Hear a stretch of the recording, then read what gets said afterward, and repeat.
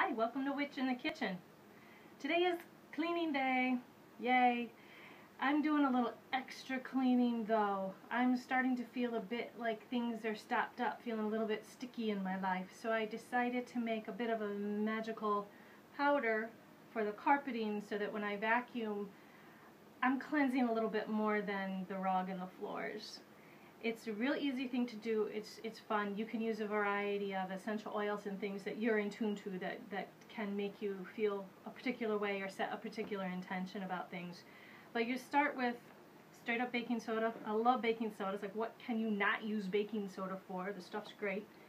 I'm going to add approximately, oh I don't know, half a cup or so of baking soda. I tend to never measure very much. I work intuitively. And to that I'm going to add sea salt, plain sea salt. Make sure it's sea salt, not any kind of salt with iodine or other additives. You want it to be um, real pure. And salt, salt is great for absorbing negativity and protection.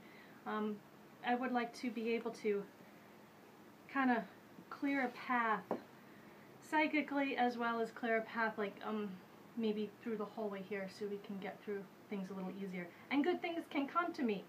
So we're going to add a roughly eighth of a cup or so of the sea salt. Make sure it's fine. Um, make it easier on your vacuum to uh, suck up later.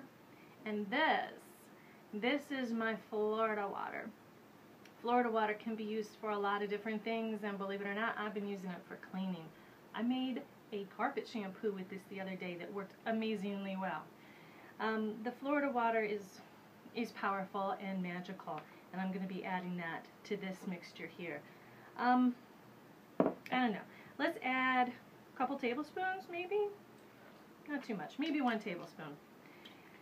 Don't want it to be too like, like wet or, uh, you know, you want it to mix in, get some of the, the good smells but not be wet in your vacuum and get clogged up in your filter. So you want to do this uh, just, you know, just enough smells so good. It smells so good. And you can use whatever other essential oils might be appropriate for what your intent is. So as you clean, you focus, you make your intent on, you know, for me, it's clearing a path. Uh, literally, figuratively, metaphysically, clearing a path.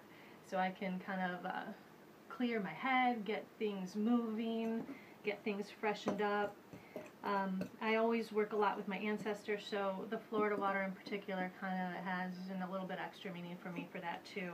Um, peppermint's a great one. Uh, if you want to do something with money, mints are good for that. All sorts of different things you can do. Lavender, if you're cleaning out a sick room, you want to do something that's healing.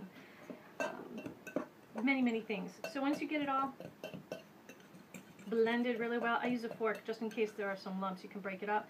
You have your powder and I'm going to go now sprinkle this on my floor and get to cleaning.